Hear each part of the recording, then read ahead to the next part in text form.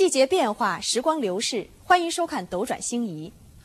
每一颗行星的发现都有一个有趣儿的故事。自从业余天文学家威廉·赫歇尔发现天王星以后，天文学家们都想目睹这颗大行星的真面目。但是在人们观测和计算当中发现，天王星理论计算的位置和它实际观测到的位置总是有误差，而且这种误差在十五年间扩大了六倍。这么大的误差对于天文学家来说是无法容忍的。那么这是什么原因呢？于是科学家们推测，一定还有一颗大的未知的行星对天王星产生了吸引力，所以影响了天王星的运行。但是这颗星是怎样的一个未知的大行星呢？它离天王星有多远？质量有多大？运行的轨道又是如何的呢？问题一个接着一个。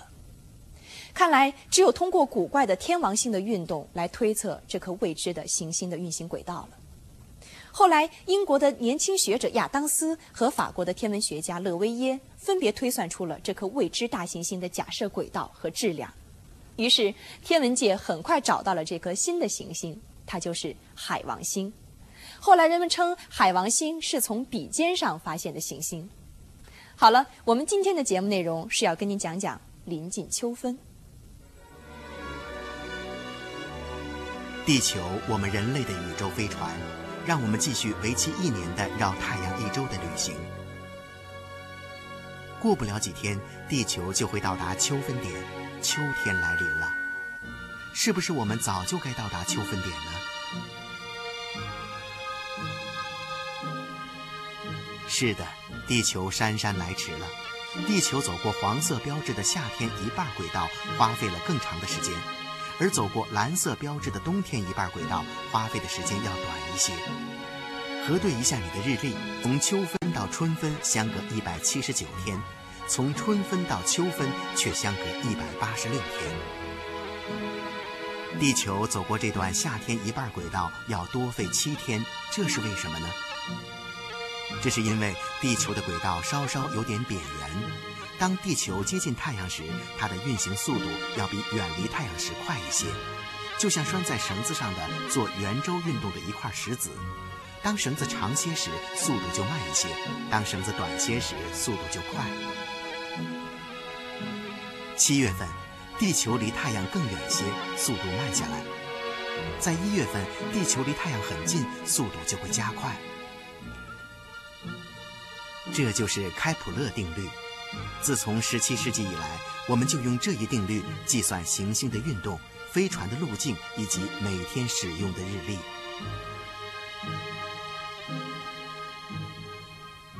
当太阳、月亮和地球有序排列成一线时，月亮的影子投射到地球上，这就发生了日偏食。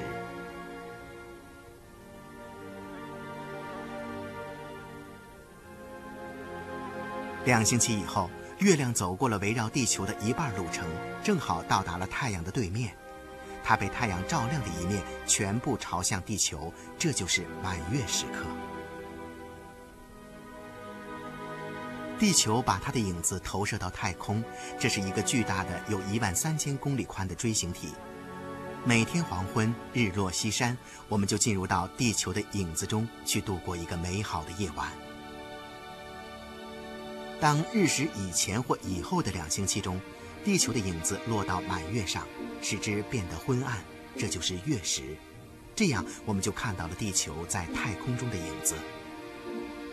当月食来临时，月亮呈现红色。在太阳光线射到月亮以前，光线掠过地球，穿过大气层，大气层吸收了所有其他颜色，只留下红色，就像日落西山时那样，而后又反射到月亮上。这样，月亮泛红的光就属于日落时的那种光线。有时候，当满月升起时，它已经进入了地球的影子中，并被落日的光线所染红。那么，为什么月食发生在满月的夜晚呢？每过四个星期，月亮绕着地球转一圈与此同时，在背向太阳的一面，地球的影子投射到太空中，看不见了。我们甚至不会注意到地球还有一个影子。当月亮面向太阳时，我们看到它的整个表面被照亮，这就是满月。这时，在太阳的另一边，正好处在地球所投射的影子中。因而正是满月时刻，月亮在太阳的另一边穿过了地球的阴影区。太阳比地球大，所以地球投射出的锥形影子边缘是一个朦胧区。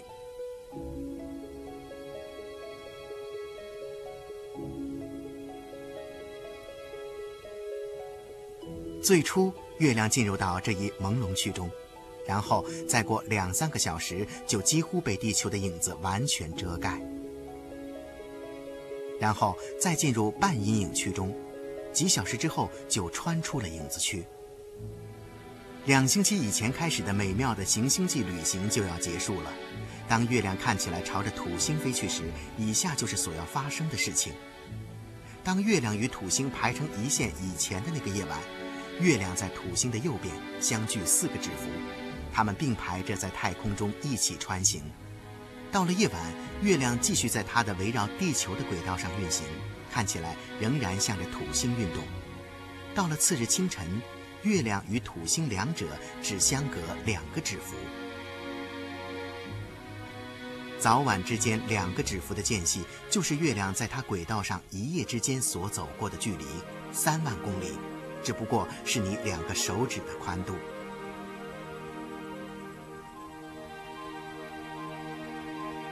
然而，当月亮围绕地球运转时，地球也继续绕日公转。由于地球运行得非常快，月亮的轨道是纵向开启的螺旋线。一夜之间，当月亮围绕地球运行了三万公里时，地球带着月亮一起，几乎在轨道上运行了一百万公里。月亮的引力作用于地球上的海水。如果月亮与太阳排成一线，那么它们的引力就形成合力，这样每个月都会引起最高的潮汐。为什么春分的潮汐即所谓春潮是最强的呢？这是因为除了月亮引力之外，地球自转产生了离心力，这种离心力的方向朝着地心往外，使得海水涌起，加强了潮汐。在赤道上，离心力最强，因为在那儿地球转得最快。夏天赤道倾斜在太阳平面的下方，因而夏天时的离心力与太阳的引力并不在同一方向上。到了冬天，赤道升到了太阳平面的上方，因而上述两种力也不严格的在同一方向上。然而，当春分或秋分点，太阳刚好经过赤道，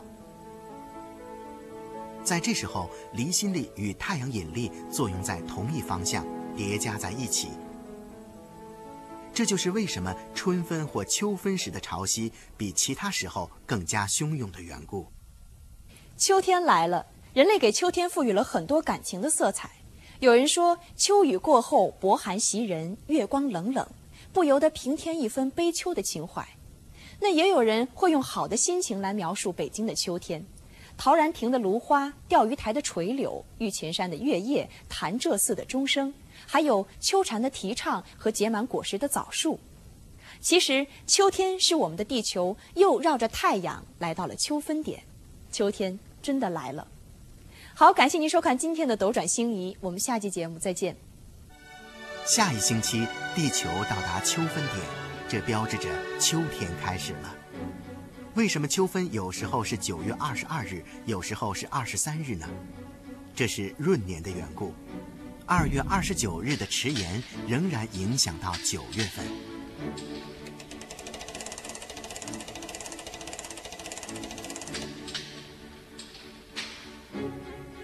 不过要记住，所谓日历只是一种度量方法，我们尽可能把它调整的符合于地球运动的持续不断的变化。春秋分是这样一个日子，那天中午的太阳正当赤道上空，这是唯一的一天，地球上各地的白天与夜晚一样长短。